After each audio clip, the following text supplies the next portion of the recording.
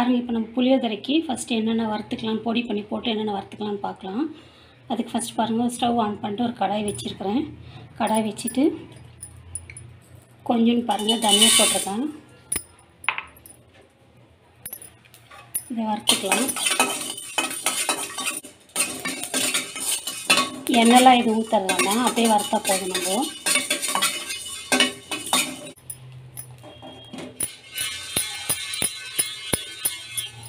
இதை கொட்டிட்டு கொஞ்சம் கடலைப்பருப்பு போட்டுக்கலாம்.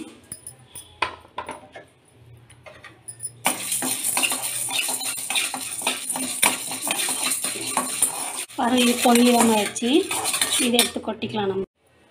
இப்போ நம்ம கொஞ்சம் உளுத்தம் வறுத்துருக்கோம். பாருங்க இதுவும் உளுத்தம் பருப்பும் பொன்னிறமாகிடுச்சு இதை எடுத்து கொட்டிக்கலாம் நம்ம.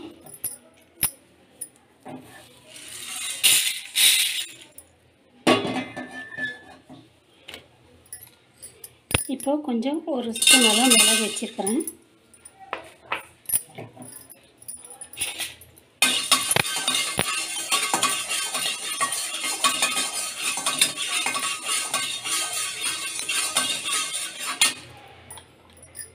அது கூடவே கொஞ்சம் எள் வச்சுருக்கேன் நான் இந்த எள் சேர்த்துக்கிறேன்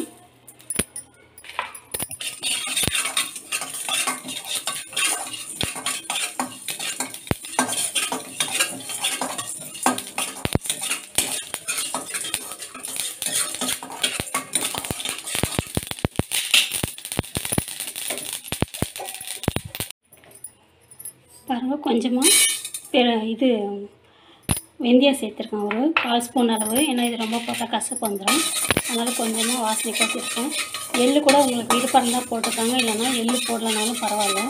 எள்ளு போட்டால் பொடி வந்து நம்மளுக்கு டேஸ்ட்டு கொடுக்கும். புளியோதரை வந்து டேஸ்ட்டாக இருக்கும் அதனால் எள்ளு போட்டுருக்கேன் எள்ளு சேர்த்தாதவங்க வேணான்றவங்க நீங்கள் போட்டுக்கிறது வேண்டாம். ஒரு பத்து காஞ்ச மிளகாய் வச்சுருக்கேன் நான். இதையும் வறுத்து பொடி பண்ணிக்கலாம் நம்ம.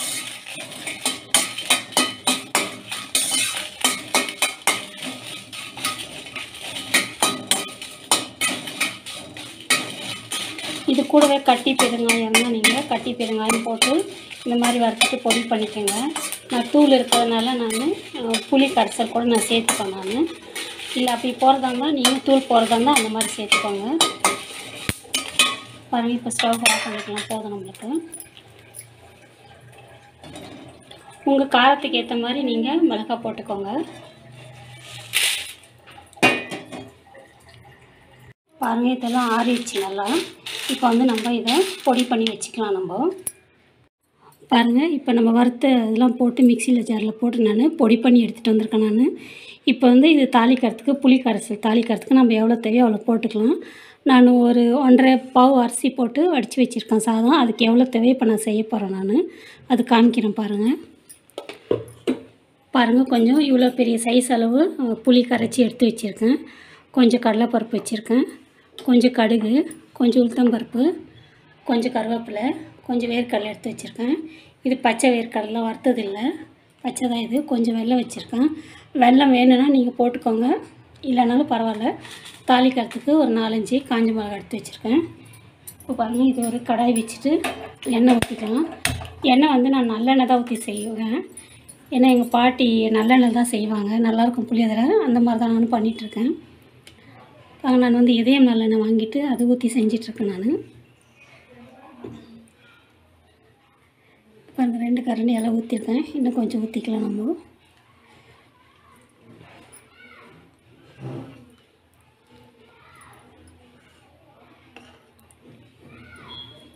எண்ணெய் கொஞ்சம் நிறையா இருந்தால் தான் நல்லாயிருக்கும் இருக்குது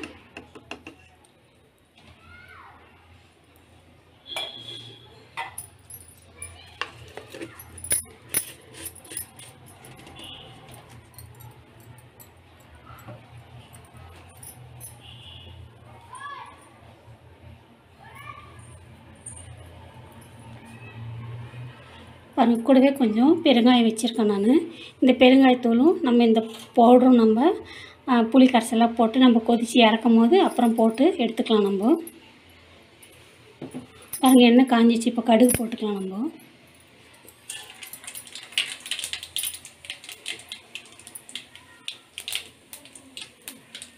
இந்த கடலைப்பருப்பு இதிலே சேர்த்துக்கிறேன்.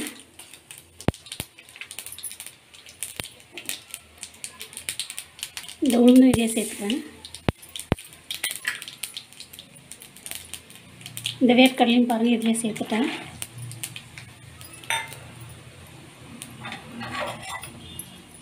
இப்போ இதெல்லாம் நம்மளுக்கு நல்லா செவந்த கலரில் வரட்டும் இது சிவப்பு நிறமாக அது வரைக்கும் வறுத்து எடுத்துக்கலாம் நம்ம.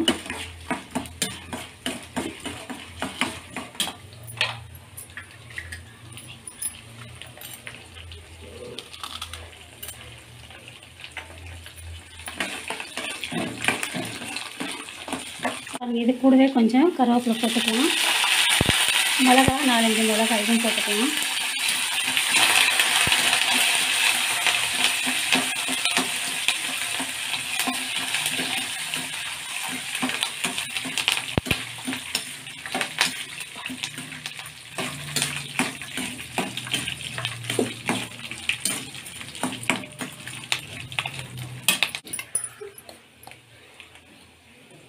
நான் இதுக்கு மஞ்சள் பொடி கால் ஸ்பூன் அளவு சேர்த்துக்கிறேன்.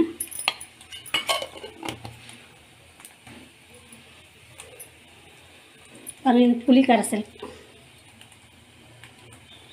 புளி கரைச்சி வச்சுருக்கோம் இல்லைங்களா? அதையும் ஊற்றிக்கலாம்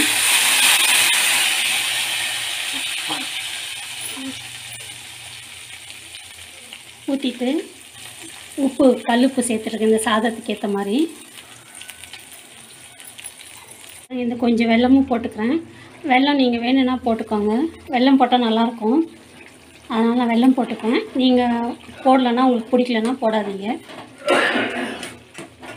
இது இன்னும் கொஞ்சம் சுண்டி வரட்டும். அதுக்கப்புறம் நம்ம இந்த பொடி நம்ம வறுத்து வச்சுருக்க பொடியெலாம் போட்டு நம்ம இறக்கிக்கலாம். இந்த வெல்லம் கரைக்கும் இதுலேயே. நம்ம இந்த புளியெலாம் நல்லா கொதித்து நம்மளுக்கு அந்த புளியோட பச்சை வாசம்லாம் போயிட்டு நல்லா சுண்டி வந்திருக்கு நம்மளுக்கு. இப்போ வந்து இது கூட நம்ம கொஞ்சம் பெருங்காயம் சேர்த்துக்கலாம் நம்ம. பாருங்கள் பெருங்காயம் கொஞ்சம் சேர்த்துட்ருக்கேன் இப்போ நம்ம வந்து மிக்சி மிக்ஸி ஜாரில் பொடி பண்ணி வச்சுருக்கோம் இல்லைங்களா நம்ம வறுத்த பொடியெல்லாம். அது இப்போ நம்ம எவ்வளோ தேவையோ நம்ம அவ்வளோ போட்டுக்கலாம் நம்ம. பாருங்கள் இந்த புளி கரைசலுக்கு எவ்வளோ தேவையோ அவ்வளோ போட்டுக்கிறேன் நான்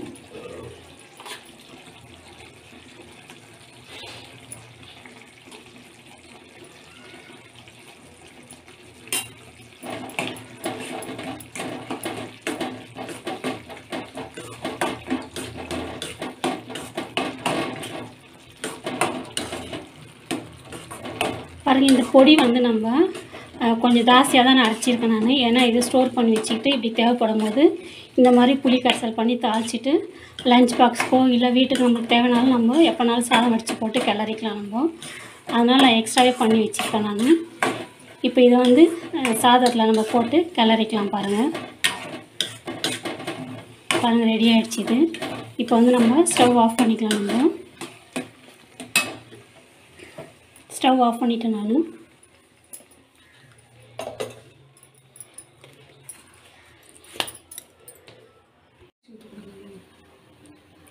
பாருங்கள் ஒரு ரெண்டு ஸ்பூன் அளவு சாதம் வந்து வடித்து ஆற வச்சு வச்சுருக்கிறேன் நான்.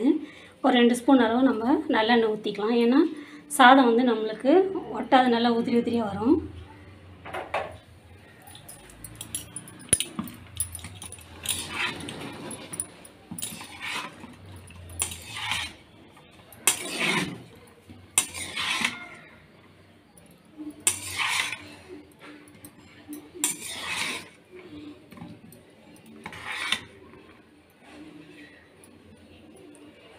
இப்போ பாருங்கள் நம்ம இதெல்லாம் ரெடி பண்ணி வச்சுருக்கோம். இல்லைங்களா இதை போட்டு நம்ம சாதத்தில் போட்டு கிளறிக்கலாம் நம்ம.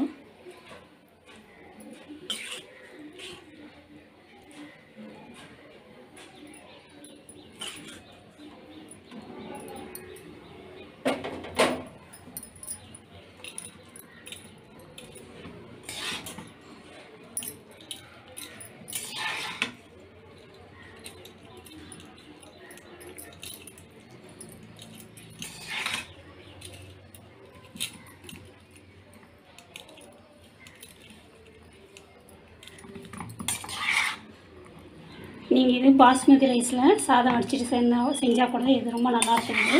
நான் மாமூல் ரைஸில் தான் செய்துட்ருக்கேன் நான். எதனா ஃபங்க்ஷனுக்கு இந்த மாதிரி செய்யணுன்னா நம்ம பாஸ்மதி ரைஸ் வேணுன்றவங்க நீங்கள் பாஸ்மதி ரைஸ் வடிச்சிட்டு இந்த மாதிரி செஞ்சாக்கா நம்ம ஐயங்கார் புளியோதரை மாமிங்கெல்லாம் செய்வாங்க இல்லைங்களா? அந்த மாதிரி இது சூப்பராக நல்லா கமகமான வாசனையாக நல்லாயிருக்கும் ரொம்ப டேஸ்ட்டாக இருக்கும். நம்ம இந்த மாதிரி வீட்டில் பொடி பண்ணி நம்ம இந்த மாதிரி செய்யறது. நீங்கள் கண்டிப்பாக ஒரு வாட்டி இது மாதிரி ட்ரை பண்ணி பாருங்கள்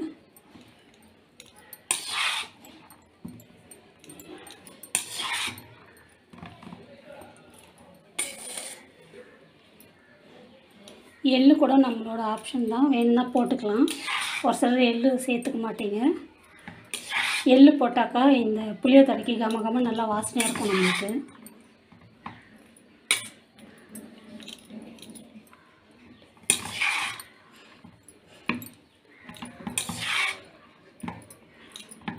பாருங்கள் சாதம் கிளறியாச்சு இது வந்து நம்ம ஒரு ஃபங்க்ஷன் நம்ம வீட்டில் ஒரு ஃபங்க்ஷனோ இல்லை நம்ம எங்கன்னா வெளியில் போகிறோன்னா இந்த மாதிரி நம்ம வீட்டிலே ரெடி பண்ணி இந்த மாதிரி பொடி பண்ணி நல்லெண்ணெய் ஊற்றி பச்சரிசி சாதம் வச்சு நம்ம செய்து எடுத்துகிட்டு போனோம்னா ரொம்ப சூப்பராக இருக்கும் நம்மளுக்கு. இது கெட்டு போகாது நல்லாயிருக்கும் பாருங்கள் ஒரு பிளேட்டில் வச்சுட்டு உங்களுக்கு காமிக்கிறேன் நான். பாருங்கள் புளியோதரை கூட இது சேர்த்து சாப்பிட்றதுக்கு ஒரு கத்திரிக்காய் பொரியல் பண்ணிகிட்ருக்கேன் அது எப்படி செய்யறதுன்னு தான் பார்க்கலாம். ஒரு கடாய் வச்சு எண்ணெய் ஊற்றி வச்சுருக்கேன். எண்ணெய் காஞ்சதுக்கப்புறம் நம்ம கடுகு போட்டுக்கலாம். பாருங்கள் எண்ணெய் காஞ்சிச்சு கடுகு போட்டுக்கலாம்.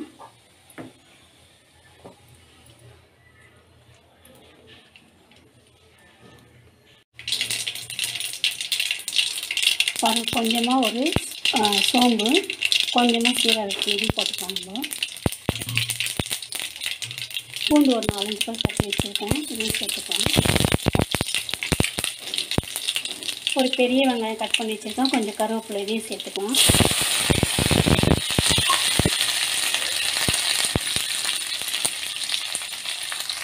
இது வதங்கட்டு கொஞ்சம். பாருங்க இது கூட ஒரு தக்காளி கட் பண்ணி வச்சுக்க அதையும் சேர்த்துக்கலாம் நம்ம.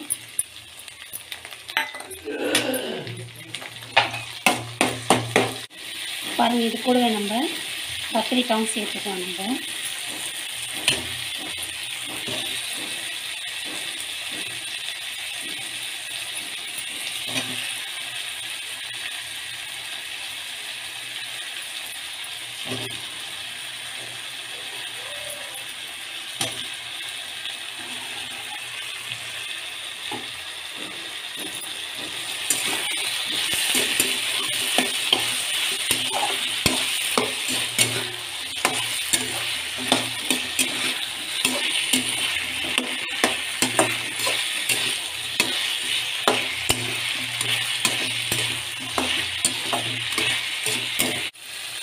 தேவையான அளவு உப்பு சேர்த்துக்கலாம். நம்ம கல்லுப்பு தான் போடுறோம் நான்.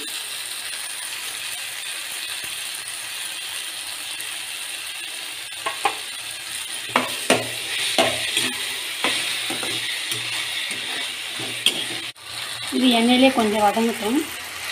பாருங்க இதுக்கு தேவையான அளவு மஞ்சள் பொடி மிளகாய் பொடி சேர்த்துக்கலாம். மஞ்சள் பொடி பாருங்கள் கொஞ்சம் சேர்த்துட்ருக்கோம் ஒரு பால் ஸ்பூன் அளவு. மிளகாப்பொடி காரத்துக்கு ஏற்ற மாதிரி சேர்த்துக்கலாம் நம்ம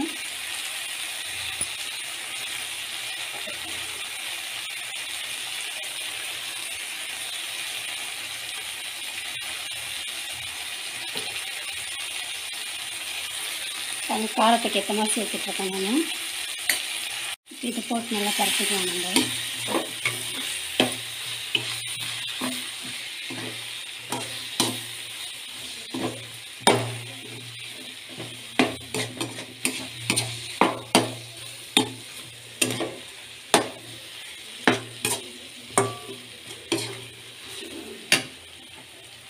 இப்போ இதுக்கு நம்ம கொஞ்சமாக தண்ணி ஊற்றிக்கலாம் நம்ம.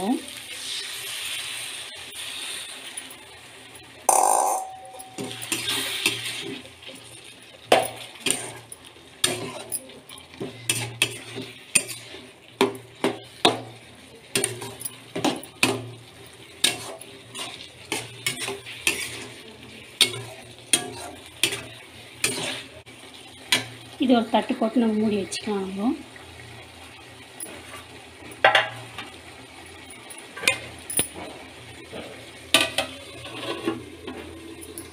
பாருங்கள் கொஞ்சம் தேங்காய் வந்து மிக்ஸி ஜாரில் போட்டு கொஞ்சம் பரப்பரன்னு அரைச்சி எடுத்துக்கலாம் நம்ம.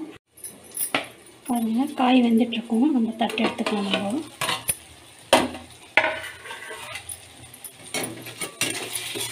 பாருங்க காய் நல்லா வெந்துடுச்சு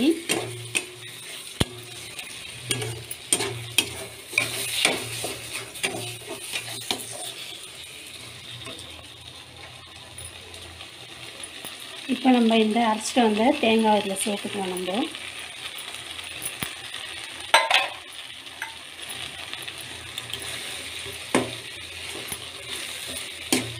பாருங்கள் தேங்காய் தண்ணி போடலை அப்படியே போட்டு மிக்சியில் பரப்பரன்னு அரைச்சிட்டு வந்திருக்கேன் நான்.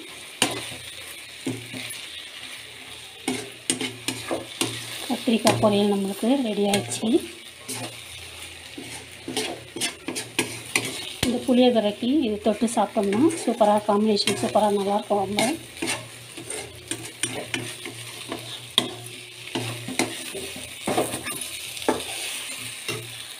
பாருங்கள் இது ரெடி ஆயிடுச்சு நம்மளுக்கு. இப்போ வந்து நம்ம ஸ்டவ் ஆஃப் பண்ணிக்கலாம் நம்ம. பாருங்கள் ஸ்டவ் ஆஃப் பண்ணிட்டேன் அவ்வளோதான் இது. அது நம்மளுக்கு கத்திரிக்காய் பொரியல் ரெடி ஆயிடுச்சு நம்மளுக்கு. பாருங்கள் சூப்பரான ஒரு ஐயங்கார் வீட்டு புளியோதரை மாதிரி ரெடி ஆயிடுச்சு நம்மளுக்கு. இதுக்கு புளியோதரைக்கு காம்பினேஷன் வந்து நான் வந்து இந்த கத்திரிக்காய் பொரியல் பண்ணியிருக்கேன் நான். இந்த கத்திரிக்காயும் இந்த புளியோதரையும் சூப்பராக இருக்கும் நம்மளுக்கு சாப்பிட்றதுக்கு. இதே மாதிரி கண்டிப்பாக நீங்கள் மறக்காமல் செய்து பார்த்துட்டு எப்படி இருக்குன்னு கமெண்ட்டில் சொல்லுங்கள் இந்த சேனல் பிடிச்சிருந்தா உங்களுக்கு ஷேர் பண்ணுங்கள் லைக் பண்ணுங்கள் தேங்க்யூ நன்றி. வணக்கம்.